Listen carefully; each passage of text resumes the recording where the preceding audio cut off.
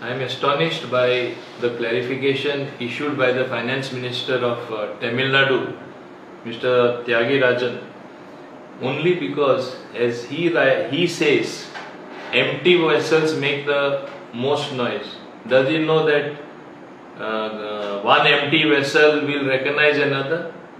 By this principle, is he first implying that he is empty and an empty vessel and therefore he uh, is pointing fingers at me as an empty vessel? What type of language in a democracy? Again, I am reiterating. I did not say anything offensive to this gentleman. All I was pleading is for my small state of Goa. And if you go by his own statement, he is trying to strike at the very architecture of GST Council where if you are a larger state with a larger population, there should be, his vote should have more value, there should be proportional representation. What is he talking about? On the one side, he also talks about his budget which is 3 lakh crore and also his population more than 8 crore citizens he says and I have a budget of 3 lakh crores. Why is he boasting about the size of the state? Does any council for that matter or any body function on the uh, number of people living in that particular country or in, in that particular state or based on its population size or for that matter even the budget which is even worse what he is suggesting. Such a learned person I am not able to understand is using such intemperate language and choosing to uh, trying to redefine the whole constitution constituted GST council. He has just come. Perhaps he was he had a long break of more than 10 years being in the opposition and then again to come back. He is perhaps not able to digest uh, power so quickly. I am very happy that his fellow Tamilians have tweeted in my favor saying that he should ask an apology from Goa. He should ask an apology from the Goan people. And he should realize that entire Tamil Nadu is not with him. He may be in the ruling party. He should realize that in a political setup, while democracy, in a democracy, even one vote is a majority. If you get one vote more than anybody elected, that is a majority. So that is how uh, democracy functions. I know no system in the world is perfect. Uh, democracy may not be perfect, but still it is the best system available in the world because that's why most nations in this world uh, try to be democratic and democratic functioning is applauded.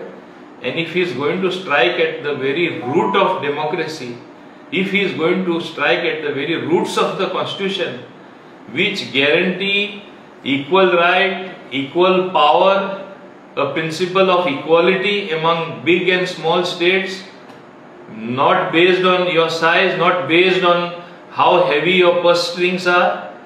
Is he trying to redefine all this? I really don't understand.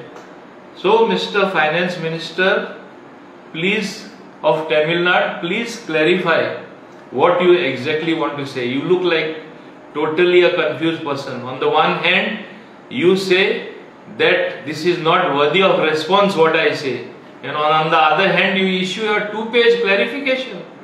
What does it mean that you are deeply disturbed by your own utterances? Accept what you have done is wrong. Retract. I have no ego whatsoever. I say it happened on the spur of the moment. As I said in the GST Council, I choose to forgive you. I will not take it as an offense. Let us treat the chapter as closed. But you want to carry it forward and move forward. You will only land in more trouble. That is what I want to say. Please don't make a ego point as big and small.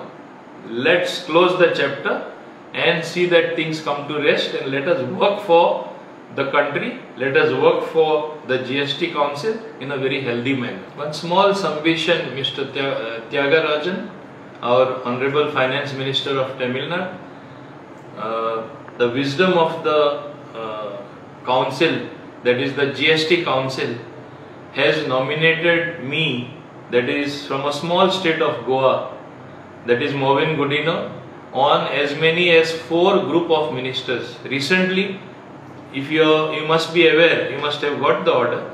Two group of ministers I figure. One was also constituted earlier. That is as far as uh, uh, lottery, uh, lottery, casino, the horse racing is concerned on that particular committee. The other committee, which uh, group of ministers I am there, is as regards uh, taxation on COVID-19 related products. Our group of ministers will have to meet and decide the quantum of taxation, where it should be lowered or where it should be increased. So I want to just give you a small reminder that this empty vessel is not so empty. So is uh, uh, however full you want to choose that it is. I am there on this true group of ministers and earlier also I was there on another two group of ministers where I have done my job along with the other uh, conveners of that group of ministers. This is just to educate you and uh, make you more knowledgeable on the functioning of the GST Council. My thanks to